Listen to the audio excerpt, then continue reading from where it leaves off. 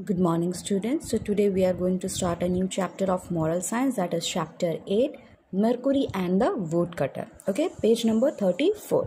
So, all of you take out your moral science book, page number 34, chapter 8 Mercury and the Woodcutter. So, let's start the chapter. Once there lived was a woodcutter near a forest. He earned his living by cutting woods from the jungle and selling it in the market. ठीक है? एक बार की बात है, एक would cutter forest के पास रहते थे। वुड कटर मतलब जो वुड काटता है, जो उसका काम ही है वुड काटना, ठीक है? और उससे वो अपना रहने का, अपना जो रोज़ी रोटी बोलते हैं, उसको कमाता था, ठीक है? वुड्स को काट के और उसको जंगल में से काट के वो मार्केट में सेल करता था okay one day he was cutting down a tree on the bank of river While he was cutting it, his axe fell down into the water and was lost. He tried his best to search it, but in vain. He began to weep.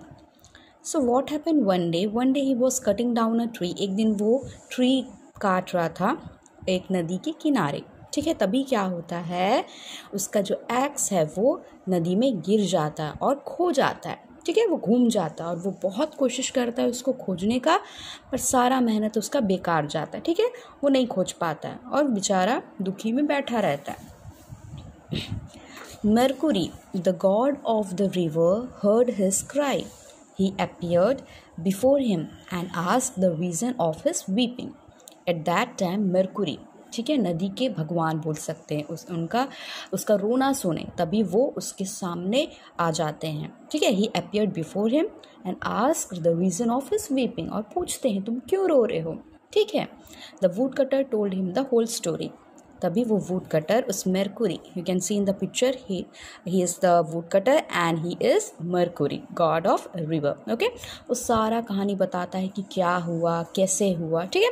सब बताता है। The god at once jumped into the water and brought a golden axe. The woodcutter refused to take it.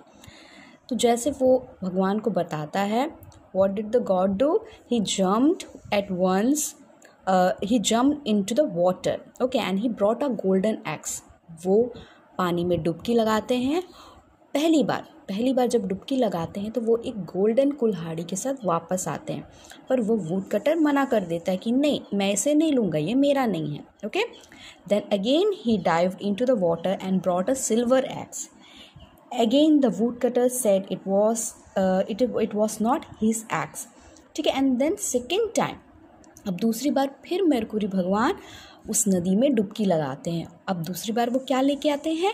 Silver x लेके आते हैं। ठीक है? चांदी का कुल्हाड़ी लेके आते हैं। Again the wood cutter refuse that I will not take it ठीक है? वो फिर से बोलता है कि मैं, ये मैं नहीं लूँगा क्योंकि ये मेरा नहीं है। The god dive for the third time he came out with an iron axe that is my axe shouted the wood cutter out of joy The god was pleased with him for his honesty and gave him all the three axes.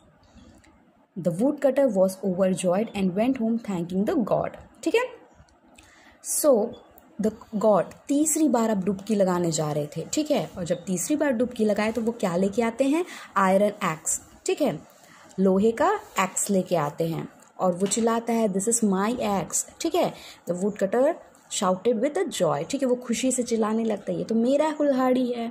The god was please with him for his honesty and gave him all the three axes god बहुत ही खुश हुए उसके honesty उसकी ईमानदारी को देख के, ठीक है? पहले वो गोल्डन लेके आए, फिर सिल्वर लाए, पर वो वुड कटर नहीं लिया। क्यों? क्योंकि वो उसका एक्स नहीं था, ठीक है? उसके ईमानदारी को देख के गॉड बहुत ही खुश होके उसको तीनों एक्स दे देते हैं, ठीक है? And he the wood cutter was overjoyed and went home thanking the god ठीक है, वो बहुत ही खुश था क्योंकि उसको तीनों मिल जाते हैं और वो भगवान को थैंक यू करके वो अपने घर चला जाता है। Okay so this was a chapter